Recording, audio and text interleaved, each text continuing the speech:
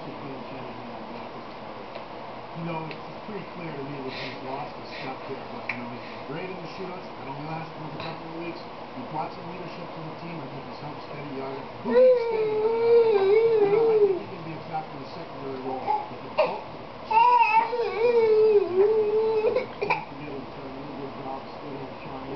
well. What's the latest? You know, the, the greatest part of the legacy for me is going to be what he did coming out of the locker. He gathered a whole group of hockey minds together, they things. They went back tag up rule, the short line the jam line. There was all sorts of things that they did. No, no more obstruction.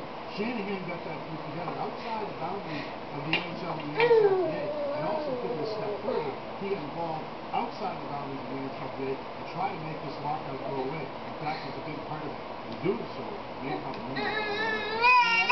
That uh, Brendan Shanahan will make the National NHL Hall of Fame either as a player or as a coach. But he's definitely going to get into the Hockey Hall Fame. Hockey will. You've been watching the Dodge Intermission Report, brought to you by Dodge. Live life to the fullest. Dodge, red light.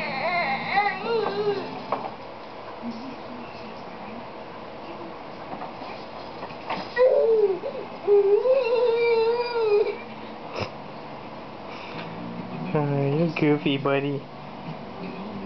You're a goofy boy. moving.